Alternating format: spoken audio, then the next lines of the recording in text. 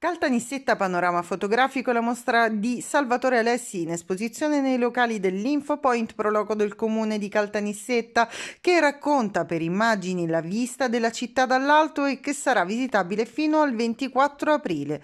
Una passione quella della fotografia che si unisce a quella del volo e che Salvatore Alessi ha in questa mostra condiviso con i visitatori scegliendo i momenti di una vista panoramica davvero unica. Un piacere che mi sono voluto passare Italia facendo un volo con eh, un superleggero e omaggiare Caltanissetta e i Nissene di questa visuale insolita, una prospettiva completamente diversa.